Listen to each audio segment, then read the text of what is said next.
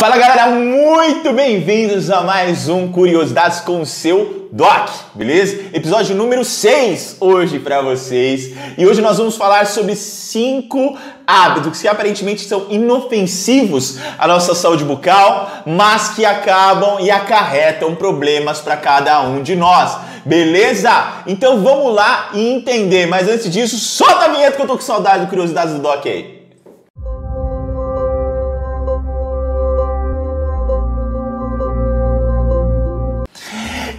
Episódio 6 da Curiosidades do Doc, nós vamos estar com cinco hábitos que aparentemente são inofensivos para a nossa saúde bucal, mas que prejudicam sim a cada um de nós. Então vamos direto ao assunto.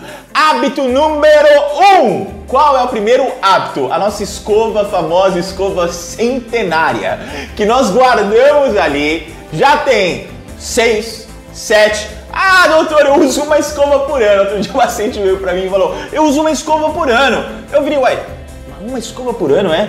Ou, ou de, de, duas, uma. Ou ele não tá escovando muito bem os dentes, né? Ou ele muitas vezes escova, escova mal, meio rapidinho, né? Que também entra na parte de não estar escovando bem ou então ele realmente não escova os dentes, né? Porque não tem como durar um ano uma escova, tá? Mesmo se for de pau, mesmo se for de pedra, vai desgastar com o tempo, tá? Então, gente, vamos estar muito atentos. Escovas centenárias. Escova é para trocar de no máximo 3 em 3 meses. Deu para entender? Ou quiçá até de dois em dois meses, dependendo do, do, da maneira que você escova e a escova que você comprou, beleza? Então, escova centenária nunca mais tempo de Covid, tempo de infecções e inflamações respiratórias. Deve trocar a escova depois que você teve ali uma gripe, uma infecção de garganta, teve um problema ali respiratório, entre outras coisas. Você deve trocar para evitar uma nova infecção. Deu para entender? Então teve ali suspeita de Covid, melhorei. Vai lá, troca a escova para evitar uma nova contaminação. Beleza, gente? Vamos estar muito atento a esses pequenos detalhezinhos, tá? Segundo hábito que parece inofensivo, mas todo mundo faz, mas que prejudica. Palitar os dentes não, não é para fazer, tá bom? Palitar os dentes, gente, além de, de parece hábito muito comum a gente ir lá e, e, e, e ficava cutucando, né? A nossa entre os dentes ali para tirar um alimento. Mas isso nessa sua cutucada, você pode ferir a sua gengiva, você pode danificar muitas vezes aquela região, você pode fazer com que a sua gengiva se retraia. E além de, de, de muitas vezes ficar mordendo o palitinho, isso pode levar a quebrar os seus dentes. Então, palitar os dentes, não, jamais. Vamos tirar isso da nossa lista, tá bom? Terceiro hábito que parece inofensivo: mastigar de um só lado. Sempre quando eu pergunto para meus pacientes qual lado você costuma mastigar mais? Pode perceber você.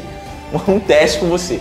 Você mastiga mais o lado que a mulher carrega a sua bolsa, não é verdade? O lado que você muitas vezes escreve é o lado que você mastiga mais também. Então, gente, vamos estar muito atento, tá? Mastigação de um só lado leva a muita coisa ruim para sua saúde bucal. Por exemplo, mastigar de um lado só, vou dar um exemplo bem claro.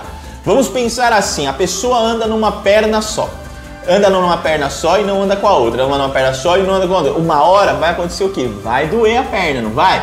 A mesma coisa acontece quando você mastiga de um lado só.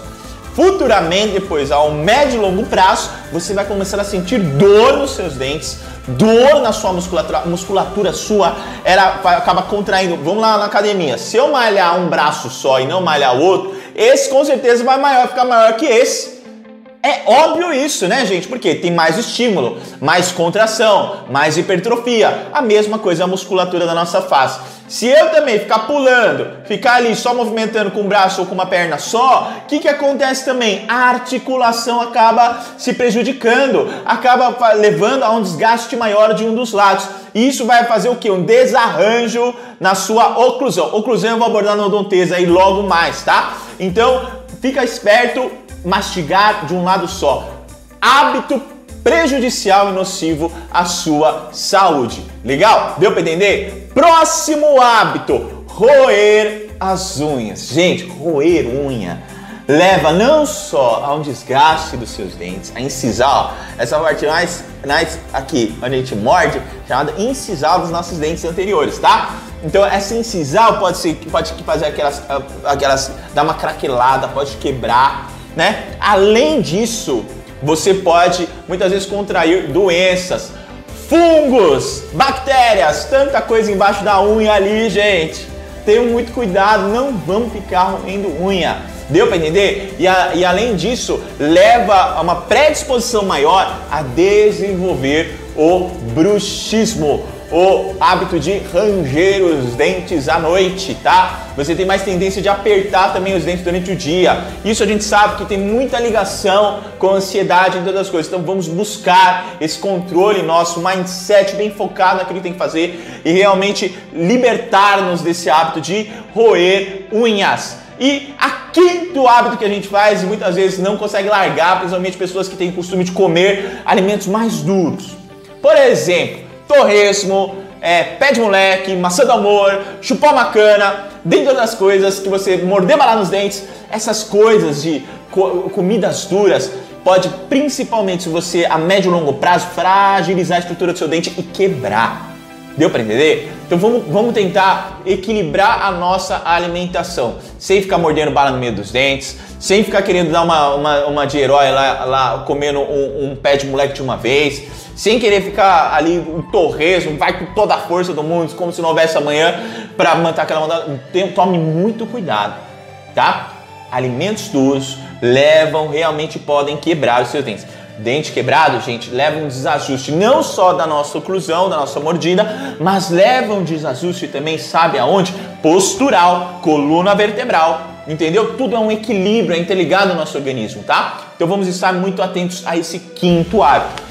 E esse, meus amigos, foi mais uma curiosidade do seu Doc. Beleza, gente? Um forte abraço, fiquem com Deus e espero que tenha ajudado muito tais informações e essa mini aula para você, tá bom? Um forte abraço, fica com Deus e nos acompanhe aí, fique bem ligado, nós temos muito mais conteúdo para você. Curta, compartilhe e se te ajudou, comente ali abaixo desse vídeo. Um abraço.